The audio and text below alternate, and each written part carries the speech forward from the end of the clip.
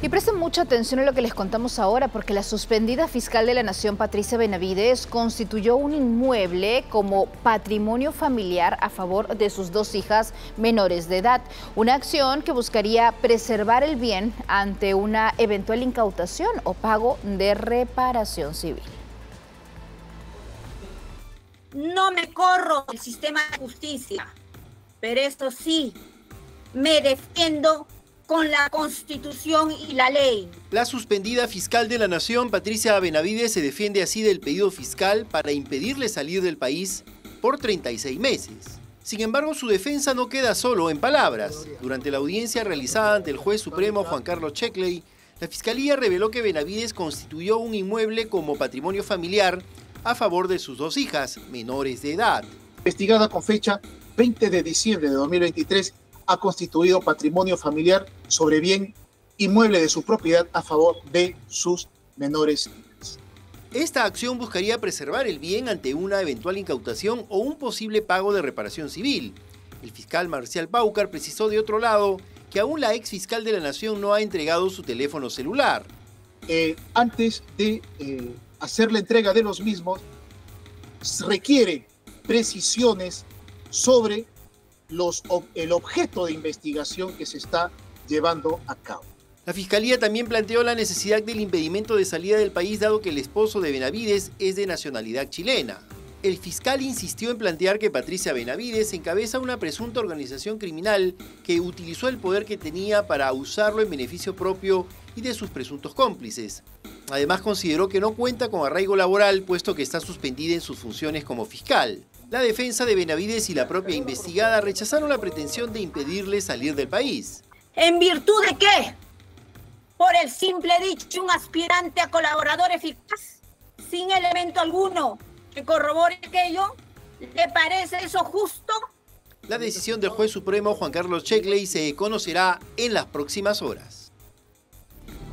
Mientras tanto, el abogado de la presidenta Dina Boluarte descartó que exista un pacto entre la suspendida fiscal de la Nación, Patricia Benavides, y su patrocinada, como lo narró un testigo protegido. Mientras tanto, la defensa de los deudos por las muertes que generaron las protestas al inicio de su gestión anuncian una segunda demanda un interrogatorio coordinado. Esto es lo que ha narrado un testigo protegido, que la presidenta Dina Boluarte ya tenía las preguntas antes de que la entonces fiscal de la Nación, Patricia Benavides, la interrogue el 7 de marzo del 2023 por los fallecidos durante las protestas ni bien asumió el cargo.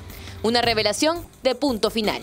Emerson Campos Maldonado me contó que en una oportunidad, mientras se encontraba preparando a la presidenta de la República, Dina Boluarte, para que pueda brindar su declaración indagatoria ante la Fiscalía de la Nación, le hace ante Patricia Benavides y Marco Guamá, se pudo percatar que ya se tenían las preguntas que iban a ser objeto de interrogatorio. Si bien en ese entonces su defensa estaba representada por Emerson Campos y Oscar Nieves, el actual abogado de la mandataria, Joseph Campos, responde.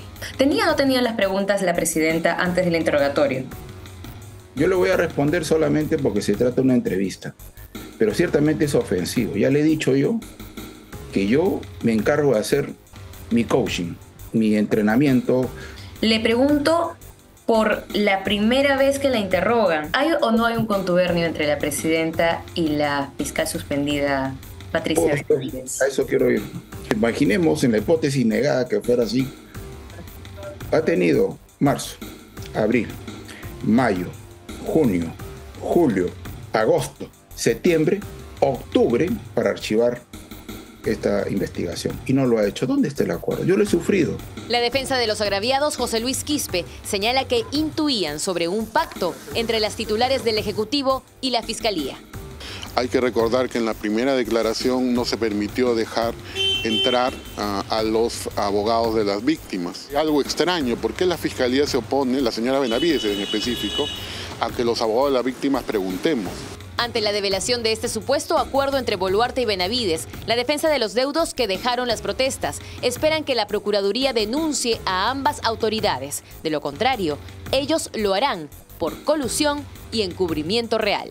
Nosotros eh, vamos a impulsar una denuncia para que se investigue, pero eso va más allá de una obstrucción a la justicia, va a un delito de colusión que está sancionado con una pena de hasta ocho años de prisión. Por este tema del, del PRIO. Esta es una locura, o sea, de verdad es una locura. ¿Dónde está el resultado, consecuencia de ese pacto, de esa alianza? Campos, abogado de la presidenta, asegura que no conoce a la anterior defensa mencionada por el testigo protegido y señala que él nunca ha recibido un pliego interrogatorio de parte del Ministerio Público. El presidente del Consejo de Ministros se pronunció. Pero de allí a pretender decir que se han filtrado las preguntas y que la señora presidenta en ese extremo ha dado respuesta, a mí francamente me parece fuera de lugar. En tanto, los deudos anuncian una manifestación pacífica en Lima para el miércoles primero de mayo. 6 de la mañana con 38 minutos.